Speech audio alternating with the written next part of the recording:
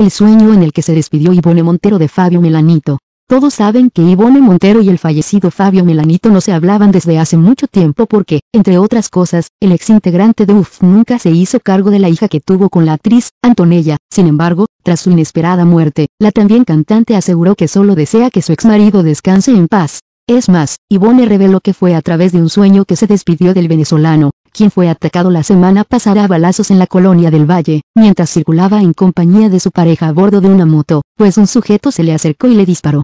Hace dos días en un sueño me desprendí, me vi durmiendo, fui a la puerta, le abrí él estaba allí llorando y me dijo que todo lo que había sucedido era terrible, relató Montero en una rueda de prensa, de acuerdo con el Universal. Lo abracé y le dije, no te preocupes, no pasa nada, descansa, vete con papá Dios. Cuando me separé de él tenía su rostro de perfil y desapareció.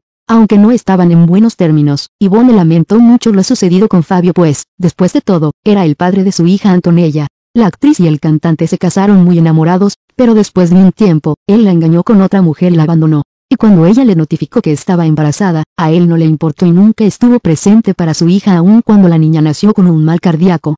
Debido a eso, Ivonne y Antonella hicieron su vida alejadas de Fabio, pero ahora con la muerte del cantante, la actriz señaló que está dispuesta a llevar a su hija con la familia del ex integrante de UF, claro siempre que ellos quieren un acercamiento. Por Celeb.mx, 21 de agosto de 2018.